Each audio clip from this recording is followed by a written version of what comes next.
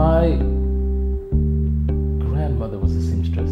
As a young boy, that was my first introduction to fashion. The neighborhood church ladies, you know, would come in to have their, you know, their suits hemmed and tailored. I've always been interested in how people interpreted uh, what style meant to them. I'm a real kind of um, popular culture freak. A lot more interesting maybe than the intricacies of what you might think style actually is.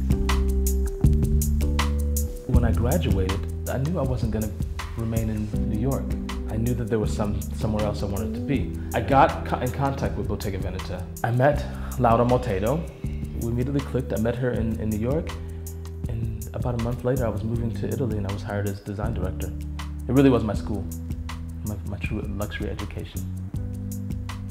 The initial start of Bottega Veneta led me to my first collection because my first collection was actually based on knitwear only and leather goods. So I started with a real idea and I learned after time, many, many years of working with knitwear, you know, what the possibilities are. And maybe it has a lot to do with the American in me as well. There's, some, there's a real comfort factor to, to what knitwear is.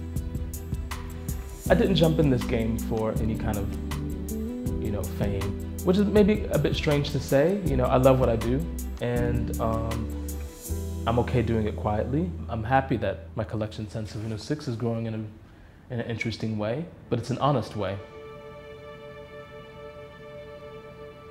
It's an interesting dynamic with the young young designers and and um, and youth. Uh, I'm finding in this country. I was I was teaching a postgraduate course, and I would ask them naturally, you know, who were your heroes, you know, whether they be artists or designers. And I got Zara, I got Mango, I got, you know, H&M they weren't curious. You know, everything is so immediate, so you just have to type it in on a computer and it immediately pops up. But things that go further than that, they're not researching. You can't arrive at abstraction without starting with the basic form. You know, maybe there isn't an essential support structure that exists in, in Italy for young designers. The structure of Italy as a country, I think, is really, um, it's quite classic and, and traditional. There's a real sense of a family and um, immediate surroundings.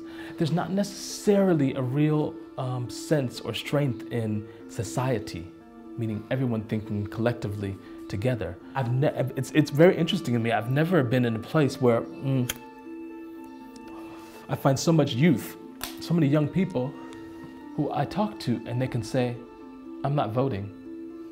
I have no interest in voting. How can you not have interest in voting? They feel useless. They feel really, you know, they feel there there's a, a weak structure that they can't make a difference in.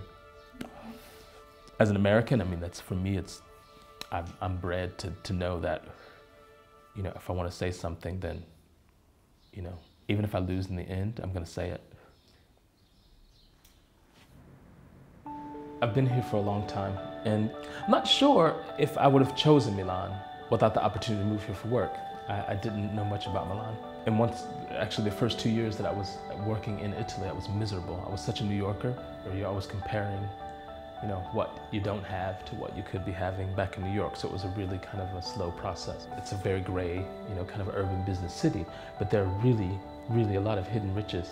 It's a fashion city. It's one of the, the, the fashion capitals. And there are a lot of creatives and young things happening here. There are a lot of stylists. There are a lot of, um, you know, fashion designers. There are a lot of artists that are really here, budding young talents in in in Milan. Um, but it's hard to rise to the surface, you know, with that kind of um, pressure of euros flying around. it becomes very difficult for you know a small company to exist in, in, in that madness.